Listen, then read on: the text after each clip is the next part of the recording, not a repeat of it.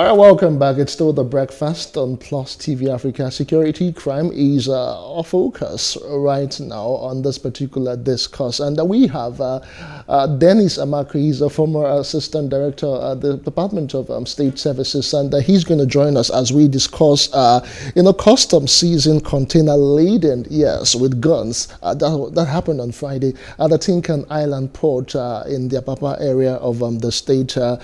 You know, this is actually coming days after the IGP, you know, charged the police managers to brace up uh, to the anticipated internal security, you know, following uh, 2022 and all of that. Uh, good morning to you, uh, Dennis Amachree. Good morning, Justin. How are you today? I'm doing okay. Uh, bright and early, we're doing good.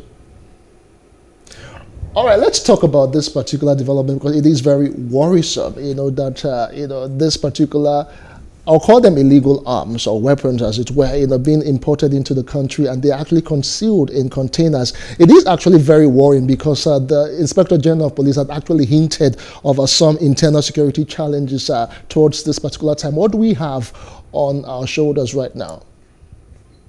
Uh, well, like uh, they said, it is um, illegal arms being concealed and then brought into the country. Uh, this is not the first time. It's been coming in through that same Tin Can port. Uh, but um, unlike what uh, the, the headlines are saying, uh, it's not a container load oh, wow. of, uh, of guns, yes. the, the one in 1917 were 2017, yeah, 2017 was the one that was a full container load of um, uh, pump action. But uh, these, these particular ones were concealed in cars. Uh, so they are not a container load, but all the same, uh, there are different form of uh, AR-15s that are coming in, most likely from, that's American gun, coming in to Nigeria. But the, what is worrisome now is that these guns are infiltrating into Nigeria. Uh, they are regularly, regularly. Okay, so um, another concern now is, like you have rightly mentioned, this is not the very first time we're having, you know, these guns coming to the country. And it might, maybe it might not just be the last time it would come in through that particular, you know, port. So the question now is, uh, because looking at the reports, I mean, the Nigerian, they are saying that uh, the reports, they are yet to, I mean, there's a press conference that's going to happen uh, sometime, you know, this morning or so before the end of the day. And we're hoping to get all of the information because everything is still very sketchy according to, you know, the report. But um, they, they stumbled on the container. My question now is, how come we just have to wait for tips? Because it feels like it's another tip off or it's another stumbling. We just stumble. Uh, are we not supposed to have equipment and gadget or devices, technology that we can dictate if we have all of this container coming, you know, rather than depend on manual pattern of uh, finding out or waiting for somebody to tip us off or, you know, just stumbling on, uh, you know, this container and then you just realize that there's a gun there or you have ammunition there. Are we not supposed to, you know, have some form of technology and equipment to help us dictate uh, the things that are coming into our country, maybe contraband. Yeah, of course, uh, you're right. There should be having a, a very, you know, new technology uh, profiling that they could use by running the container through them, and then of course it will tell them what is inside the containers. Uh, but I don't think they have that uh, type of profiling at the time. So what they do is either by people trying to give information or uh, by just taking random samples. Because when you go to the port, the containers there are too many. You have thousands and thousands of containers being offloaded. Now, how do you go through them one by one? And that is a problem. Because I know that the Ports Authority have been trying to make sure that containers don't stay in the port for too long. Uh, you know, so they want everybody to clear their containers and go away. So in this hurry, you usually allow things to go out, and then of course they are being caught.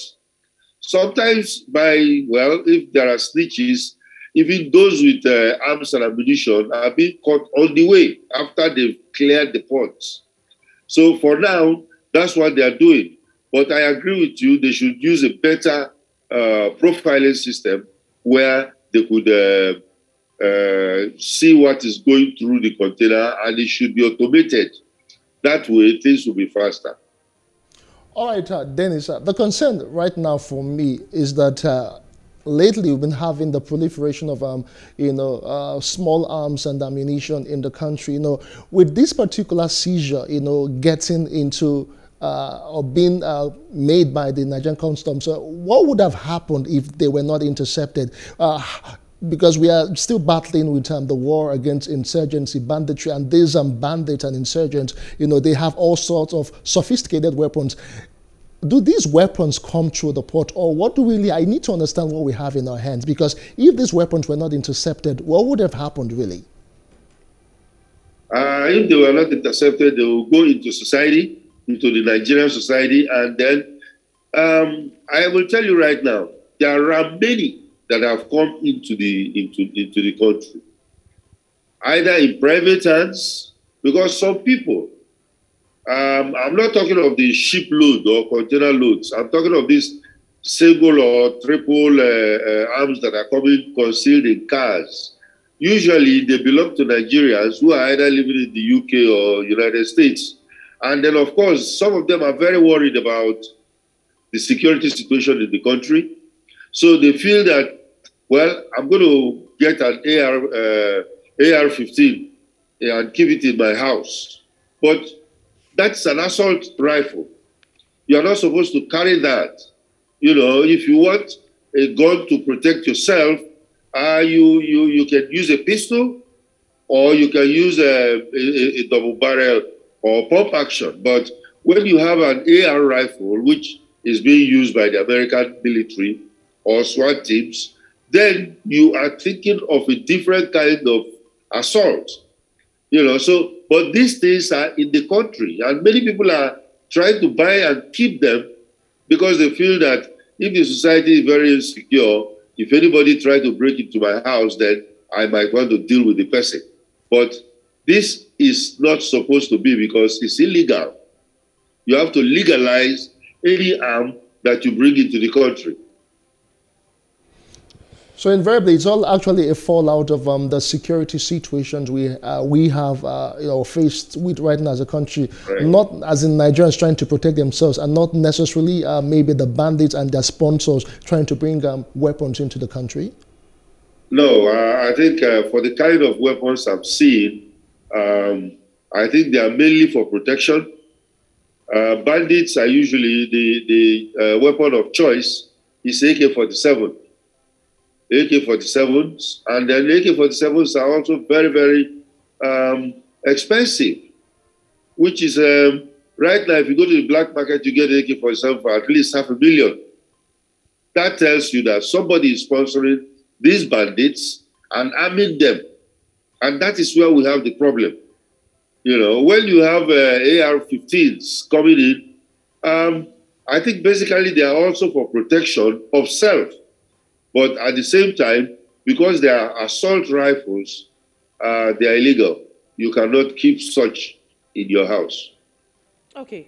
Um, you know, see, I'd like to ask you, do you think that we have been very sincere, you know, with uh, the fact that we have been making efforts to curb uh, control of, you know, small arms and proliferation of these arms in Nigeria? Have we been sincere enough uh, you know, to fight all of this because we know where these guns are coming through. I mean, maybe through the, you know, the land borders or what have you. Uh, but I'd like to share your thoughts on this one. Is there any sincerity in the fight or in trying to curb, you know, illegal arms importation into Nigeria? Yes, I think there is a lot of sincerity. The one that was uh, intercepted in 2017, um, which was handed over to the uh, DSS, and the DSS went ahead, processed them, uh, arrested some people that are, you know, involved in it, and handed it over to the courts. Because, you know, when you cannot deal with it all by yourself when it comes to this kind of thing. So when it goes to the court, our court system is so slow. 2017, till date, we, we don't know what is happening again about those arms, uh, about uh, about what happened to those people who imported those arms. So it is very it's, it's a very serious issue.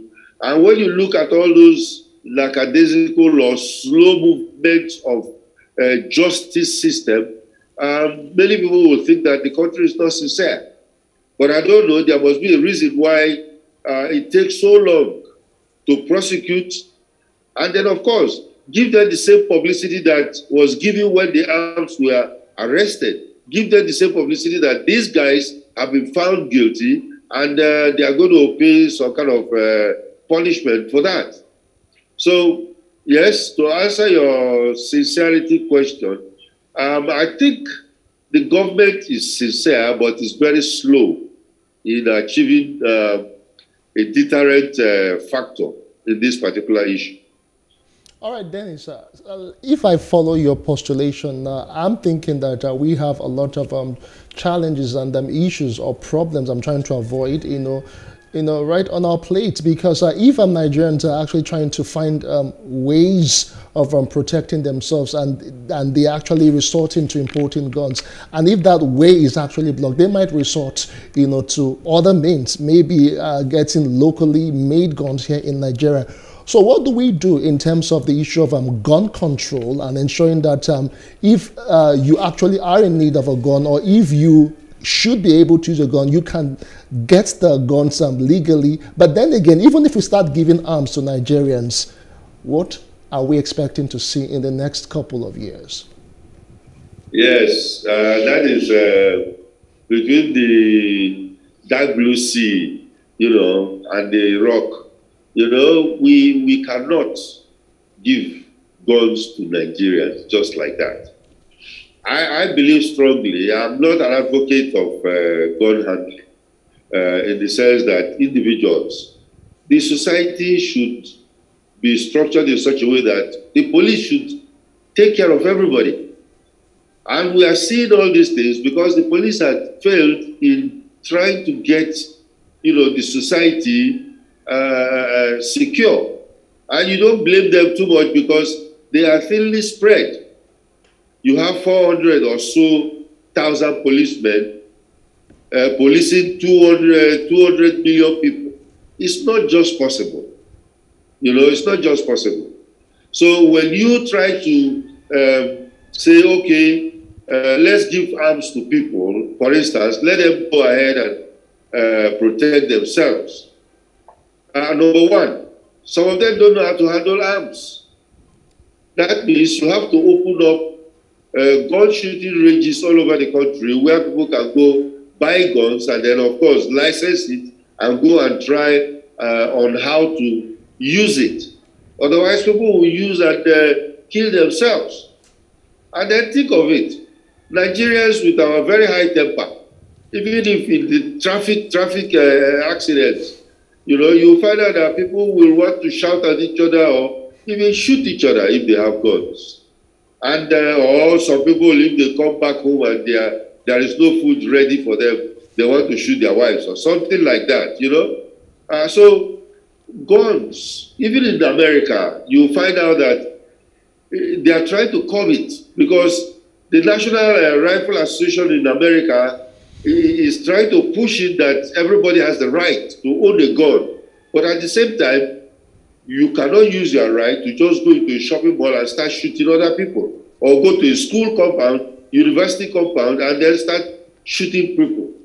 So there are pros and cons, but I think uh, the, the, the, the, it, it is a disadvantage when it comes to allowing people to just own guns randomly like that. All right. So um, recently, uh, the president transmitted a bill to the National Assembly, and uh, the bill seeks to control arms and proliferation and regulates the importation of arms into Nigeria. Also, there was an establishment of, you know, a center for for small arms and light weapons. I, would like to ask you, as a security consultant and expert, do you think that this will go, um, you know, a long way in reduction of arms importation, understanding that we have an issue of implementation of the law or following through, prosecuting, and even with the fact that the justice system, like you have mentioned, is very slow. Do you see this contributing anyway to, you know, reduction of uh, gun control or access into our country? Yes, um, I actually followed that uh, uh, committee on small arms and light weapons uh, uh during the, the, about proliferation, and then you find out that um, yes, what they are trying to do in that committee is to make sure that they, they know why these arms are coming into Nigeria, how they are coming into Nigeria, and how to stop them. You know, not how to uh, make sure that society is safer. They believe that if they stop it, and custom is doing a very good job there anyway, because they keep on arresting or intercepting double barrel uh, cartridges, uh, arms and ammunition coming through our porous borders. Now, if we really want to do something about this, we have to go back to the root causes. How did the arms come into this country? When we know those systems, we block them. If they are coming through the border, block those uh, porous borders. If they are coming through shipments, now you have, like you we started earlier, use a better profiling technology whereby containers will just run through and then of course you will know. You know, even if it is broken down, it should be able to identify certain parts of a gun. You know, so these are the kinds of things that we could do. Um, we are not usually very serious about this, but the technology is there. You know, if you look at other countries, they are using them. So why can't we? All right, um, thank you so much, um, Dennis Amachree, for your time and your thought. Indeed, uh, we need to relook at the issue of gun control and um, the proliferation of um, small arms and um, light weapons in Nigeria because, as a TISA, we are not ready to, uh, for the massacre that it could cause uh, if Nigerians are giving um, you know, you know, arms readily. Thank you once again, um, Dennis Amachree, for your time. Thanks for having me. Yeah, we do appreciate it, okay? All right, uh, Dennis Amachree is actually the former assistant director of um, the DSS, and he is um, a security uh, uh, consultant. And Mess, I don't really think um, I would want to have a gun because if you don't prepare my food, anyway, just on a lighter note, I want to say a very big thank you to all of you who have actually sat back to watch. Uh, we'll return again tomorrow. My name is Justin Akadonye. And I am Mercy Ebokpo. Do have yourself a great morning.